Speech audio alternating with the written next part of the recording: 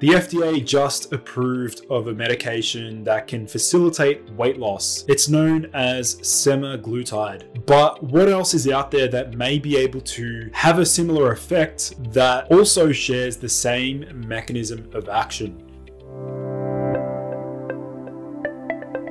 So for those of you who are brand new to my channel, my name is Lucas. I'm the founder of Ergogenic Health and my mission is to bring you the most cutting edge health information that you'll struggle to find on Google. So please do me a favor, like this video, hit subscribe below, and if you have any questions, drop them down below as I do my best to respond to each and every single one. So in today's video, I'm going to explore a molecule known as myricetin or myricetin, which has a similar mechanism of action of this recently approved FDA drug known as semaglutide. Now, first of all, let's take a look at what is semaglutide. Semaglutide is sold under the brand name Ozempic, among others, and is an anti-diabetic medication used for the treatment of type 2 diabetes and for chronic weight management. Semaglutide acts like human glucagon-like peptide or GLP-1 such that it increases insulin secretion, thereby enhancing the uptake of glucose into tissues and organs. Semaglutide is available in both injectable and oral form, and the FDA recently approved this as a once a week injection to increase weight loss or facilitate weight loss, and its mechanism of action is quite diverse, although it does appear to act as a GLP GLP-1 agonist, so a glucagon-like peptide 1 agonist. Now, I'll get into the further mechanisms of action and how this drug actually works and, and what else is out there that may be able to replicate or, you know, sort of mimic the effects of semaglutide. So first of all, let's take a look at how semaglutide works. I just mentioned that it's a glucagon-like peptide 1 agonist. And you can see in this diagram here that by acting as a GLP-1 agonist, it increases neuroprotection in the brain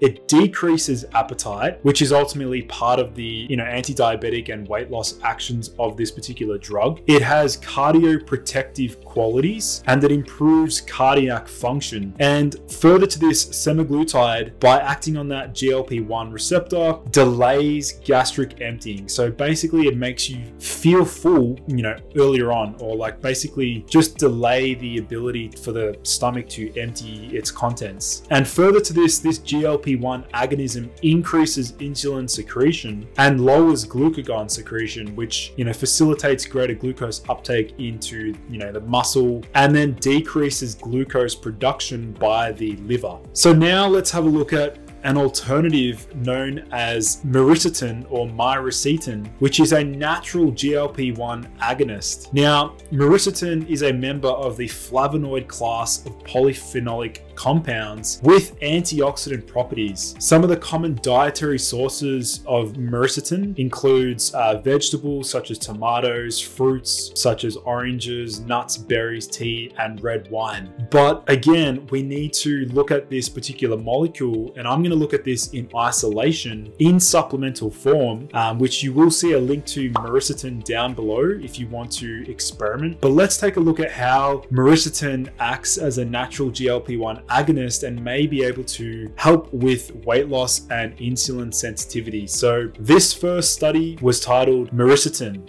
a potent approach for the treatment of type 2 diabetes as a natural class B GPCR agonist. Now, basically what they noted was that by acting as a GLP-1 agonist, myricetin can help to facilitate insulin excretion and is considered insulinotropic, which is a benefit for those that have a poor ability to actually, you know, secrete insulin from the region of the pancreas responsible for that. So this is exciting because now we can sort of look into to the same mechanism of action for certain pharmacological agents such as semaglutide, and now we have something known as myricetin, which does appear to share a similar mechanism of action and also has quite a lot of impressive in vivo studies and rat studies as well. So this really does excite me. Further to this, we can see that myricetin increases brown fat. Now you can see the study was titled Myricetin induced brown adipose tissue activation prevents obesity and insulin resistance in a special breed of mice. Now, basically, they noted that myricetin can alleviate systemic insulin resistance and promote the browning of adipose tissue after as little as four weeks of consumption. So um, we can see that uh,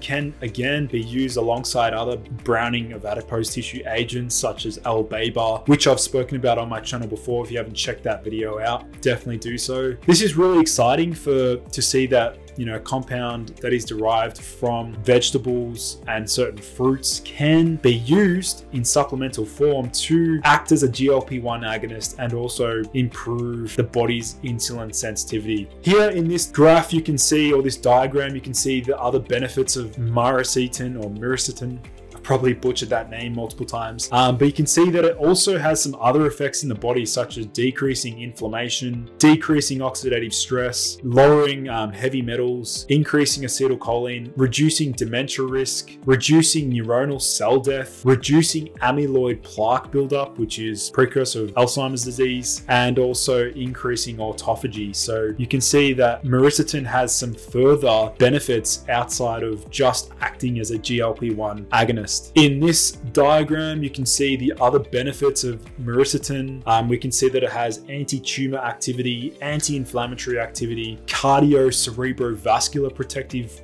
qualities. It has anti-diabetic activity, anti-neurodegenerative properties. It has immunomodulatory activity. It's antimicrobial and even some other benefits in the lungs and may inhibit gastric acid secretion. So you can see that like many other polyphenols, myricetin does appear to be, you know, appear to favorably affect the body. So if we have a look at some of the theoretical dosages for myricetin between 100 to 200 milligrams on an empty stomach before a fast would be ideal to use um, this particular molecule. And that is because GLP-1 agonists reduce appetite. So if we use myricetin just before a fast, it can actually reduce appetite and make fasting a lot easier for people. So again, that's going to be helpful for someone's uh, weight loss goals. So you will see a link to myricetin down below if you want to purchase this. I'm really excited to see further research on this molecule or even perhaps other derivatives of this molecule. I hope you guys really enjoyed this video. I really get excited when there's new molecules and compounds that can be used to improve the human condition. If you like this video, please check out all of my other videos on my channel. I've got some really amazing content. Check out my Instagram, follow me on Instagram, check out my website. I'm stoked that, uh, you know, the audience is building up. You guys are really enjoying these videos. So just wanted to say massive thank you to everyone.